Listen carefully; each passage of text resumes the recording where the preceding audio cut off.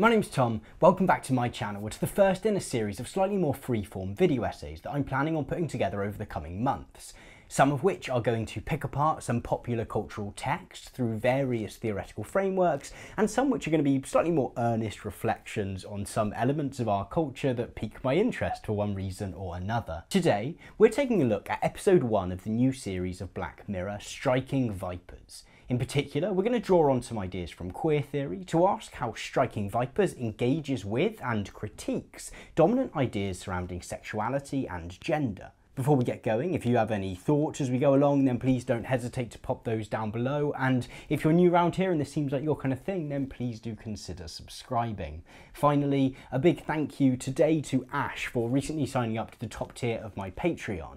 If you would like to support what I do, get your hands on scripts of the videos that I make, as well as maybe get yourself a little shout out too, then please do check out my Patreon page linked below. With that out of the way, however, let's take a look at how Black Mirror Striking Vipers engages with gender, masculinity, and sexuality.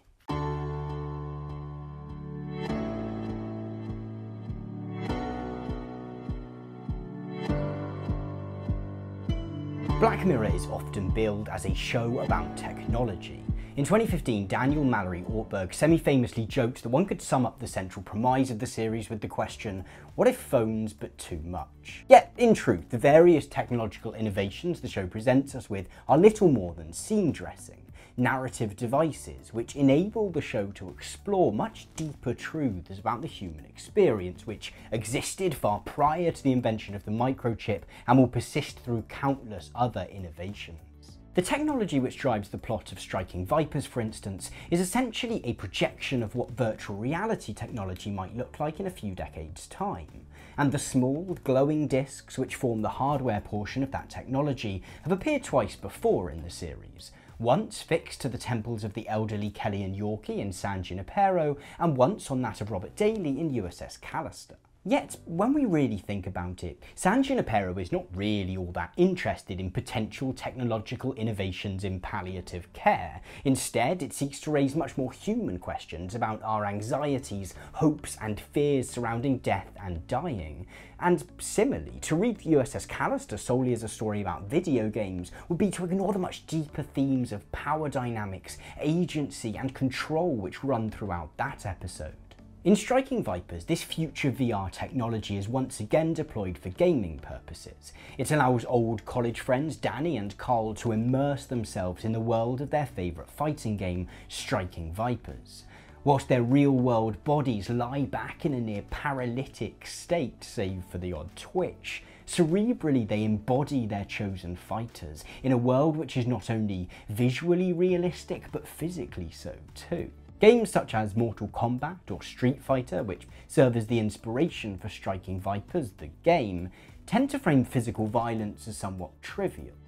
Here, however, being punched in the face is no laughing matter, and as Danny and Carl soon find out, the developer's emulation of physical sensation is not confined to pain, but also extends to pleasure. For in only their second round of combat, Carl, in the virtual body of Roxette, pins Danny, playing as Lance, to the ground, and in the heat of the moment, they find themselves unclenching their fists and instead kissing. In the following weeks, what initially seemed to be a spur of the moment impulse turns out to have been an eruption of something much deeper. Despite some initial uncertainty, Carl and Danny find themselves returning to Striking Vipers, and their relationship, not only sexual but emotional and romantic, begins to blossom. Thus, where Striking Vipers, the game, like its real-world corollary, seems to have been built for an assumed male player base to indulge in aggressive, hyper-masculine fantasy, it ends up providing a virtual arena in which Danny and Carl can explore their sexuality. Much like San Junipero, USS Callister, or any other episode of Black Mirror then, Striking Vipers is about far more than just speculating about what technological advances might come about in the next few decades. Certainly it is the VR technology which puts the episode's plot into motion, but the thematic focus is one which is both all too human and which has considerable ramifications for the present. For if we were to try to reduce this episode down to its thematic core, it would not be about gaming at all, but instead our perceptions of gender, masculinity, and sexuality, and how we navigate these fields in constructing our identities.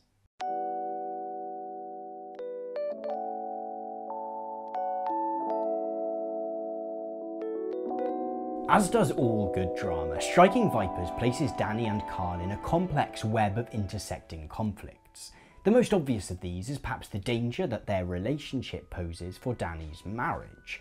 We see him torn throughout between honouring his commitment to his wife, Theo, and reneging on all that to further explore his changing relationship with Carl.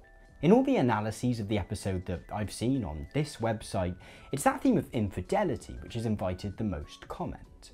However, to my mind, this is somewhat secondary. I would posit that the conflict which guides the episode most significantly is, in fact, psychological and arises not from what others might think of Danny, Carl, and their new relationship, but the manner in which this new discovery throws all that they thought they knew about their own gender and sexual identities into question.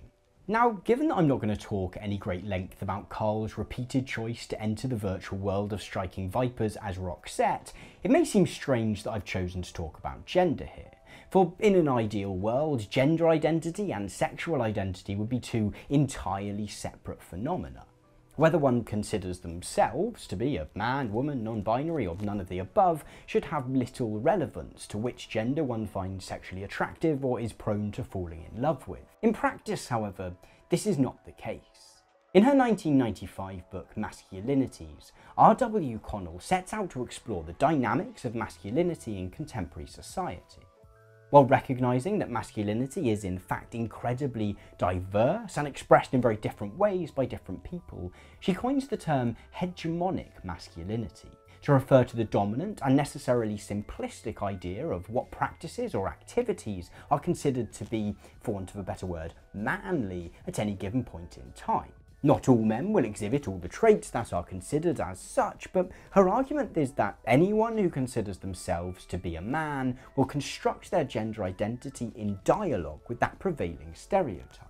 In Striking Vipers, for instance, there are numerous ways in which Danny and Carl don't conform with our simplistic, stereotypical idea of what it is to be a man. Yet, they certainly display some level of investment in being perceived by others and, as importantly, conceiving of themselves as masculine. They play violent narrative-light video games. They drink beer Carl is constantly boasting of his sexual conquests, and if there's a barbecue to be lit, then Danny will be first in line. Their allegiance to this normative mode of masculinity is, in fact, reflected in the aesthetic of the episode. Both Danny and Theo's clothing and the mise-en-scène of their suburban environment draws heavy inspiration from the 1950s. Stephanie Coontz has argued that, though the era was, in truth, one in which notions of masculinity were incredibly turbulent, the 1950s is often drawn upon as a point of reference for so-called traditional family structure and gender roles. Cultural representations of this period often present us with an image of men as breadwinners who return home from work and eat a meal prepared by their wives alongside their 2.4 children before retiring to the office to read the paper. From the perspective of the present, we rightly view such gender dynamics as highly restrictive. This was evidently the case for women in this era whose agency was severely curtailed by such norms. But without detracting from that, we can also recognise that it was often limiting for men too. We need only to look at the plays of Arthur Miller set in the period to see the psychological impact of the expectations of emotional fortitude and sort of unfeelingness placed upon men. Societal ideas around what it is to be a man have clearly changed in many ways in the intervening decades, yet by invoking the aesthetic of the 1950s, Striking Viper seeks to foreground how restricting gender norms, however they might manifest, can be. Nevertheless, our complex relationship with gender means that even if we recognise the manner in which masculinity or femininity constrain us, our investment in being a man or woman often provokes us to leap to its defence. There's a clear moment of this in Striking Vipers when Carl lets slip to Danny that he's recently taken to waxing his pubic hair. This is certainly not an act which tends to fall within the terms of hegemonic masculinity, and Danny's first response is to recoil from this revelation with amazement. Then both characters try to laugh it off. Finally, with some bravado, they both try to suggest that it is in fact a masculine thing to do, because Carl is doing it to impress women. This not only further shows how invested Danny and Carl are in being perceived by others and conceiving of themselves within the terms of hegemonic masculinity, it also reveals how tied their conception of masculinity is to heterosexuality. For just as when it comes down to it, gender as a social and psychological identity has little to do with physiology, so too are social perceptions of sexuality about far more than who one chooses to sleep with. And, argues R.W. Connell, gayness in patriarchal ideology is the repository of whatever is symbolically expelled from hegemonic masculinity. Hegemonic masculinity thus encourages us to consider masculinity as one and the same as heterosexuality, with gayness, as Connell puts it, defined in opposition to that. We might recognise, for instance, the manner in which gayness is often conflated with effeminacy. We certainly see in this early exchange that for Danny and Carl, to be a man is also, by definition, to be heterosexual.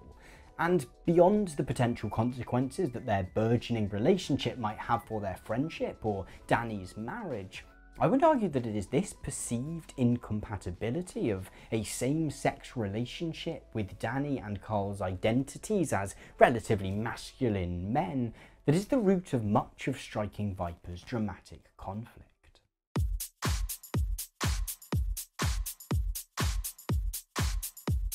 Now, in many episodes of Black Mirror, the conflicts that are brought about by whatever technological innovation is the focus of that episode would, in the absence of that technology, likely have come about anyway. Without the various medical advances present in Rachel, Jack and Ashley Too, for example, Catherine would probably have found other means through which to control Ashley O's career and life. In Striking Vipers, however, I'm not sure that this is the case, for the ability to escape to a virtual world beyond the reaches of hegemonic masculinity is key to enabling Danny and Carl to explore their sexuality in the way that they do. In The Hero with a Thousand Faces, Joseph Campbell foregrounds a moment in all narratives where the hero transfers his spiritual centre of gravity from within the pale of his society to a zone unknown. In some cases, this is a real, physical departure from one place to another. In others, it is metaphorical or psychological. What is important is that the protagonist is in some way removed from their comfort zone and placed in a new context, where the knowledge that they have built up over the course of their lives no longer applies. Usually, when analysing a film through this lens, we focus on the challenges that the devaluing of the protagonist's existing knowledge presents. In Striking Vipers, however, the devaluing of Danny and Carl's existing knowledge of gender and sexuality presents an opportunity. See, in my most recent episode of What the Theory, we looked at the work of Michel Foucault, who argued that the knowledge we are given about the world has significant ramifications for how we construct our identities. If, for instance, we are presented with the idea that gender and sexuality are binary as an objective fact, then in constructing our own personal gender and sexual identities, we will likely pick one or the other. We won't even know it's possible to question that. This very much seems to be the context in which Danny and Carl have constructed their personal flavours of masculinity.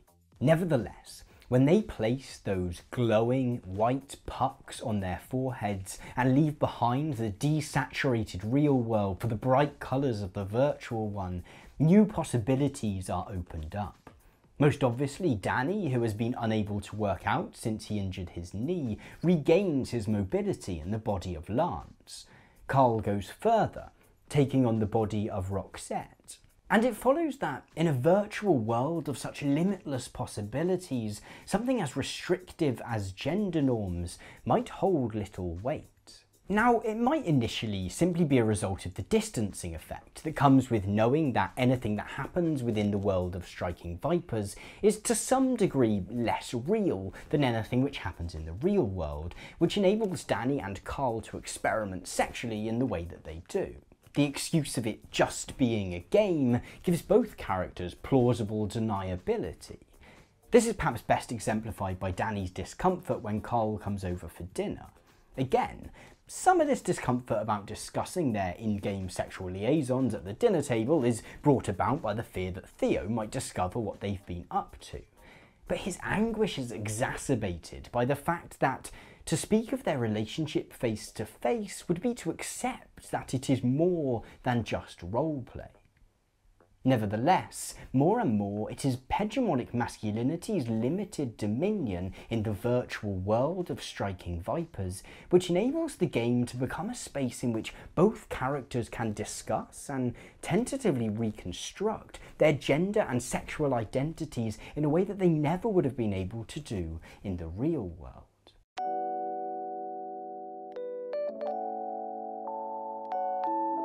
It is interesting to note, however, that while their entrance into the virtual world may take away the need to constantly be affirming their masculinity, Danny and Carl's internalization of gender and sexual binaries don't dissolve away instantaneously.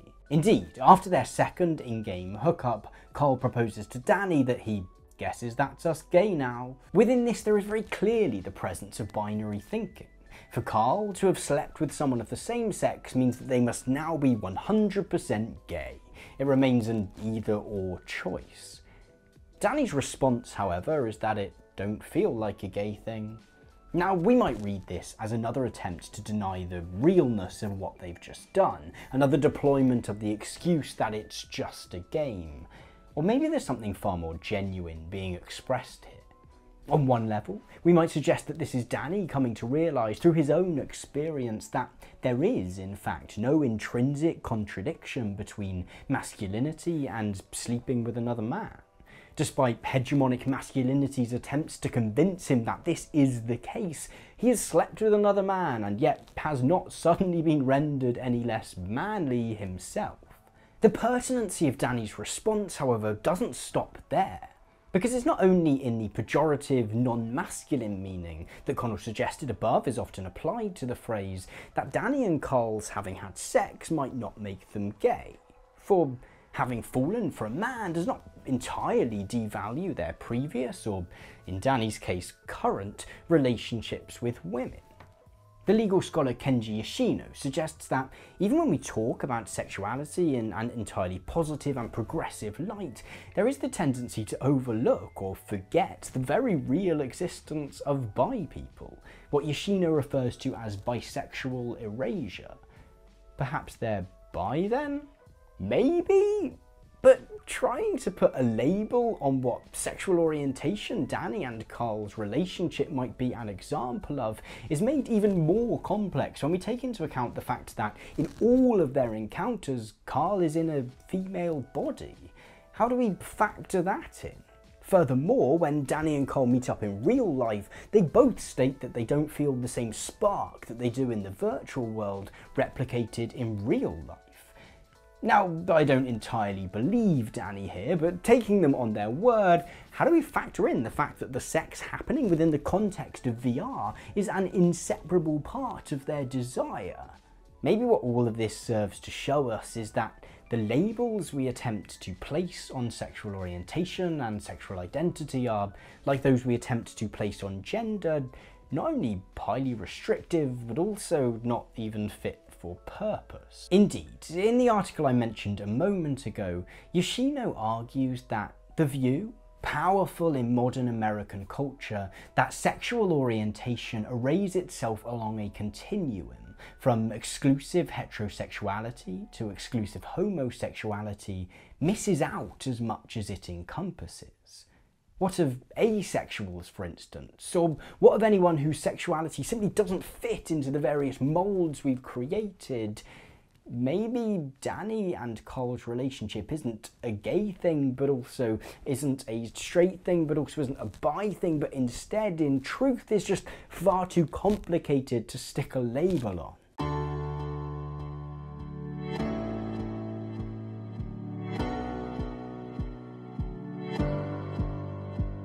In Queer Theory and Introduction, Annamarie Jagose suggests that sexual identities, sexual orientations and gender identities are neither binary nor, in truth, categorizable at all, but instead are a constellation of multiple and unstable positions. This doesn't mean that the various labels that we have devised to position ourselves within that constellation are entirely useless.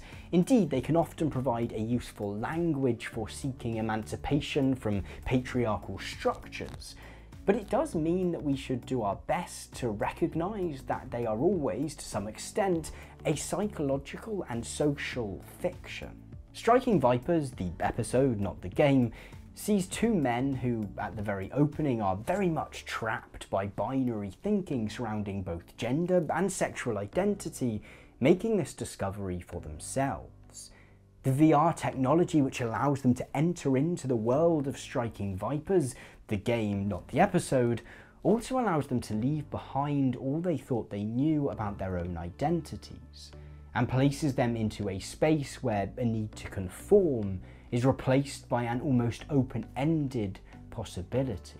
By extension then, Striking Vipers encourages us to consider what might be gained from unlearning that which we think we know about gender and sexuality, and to consider the increased possibilities for our own identities that might come from doing so.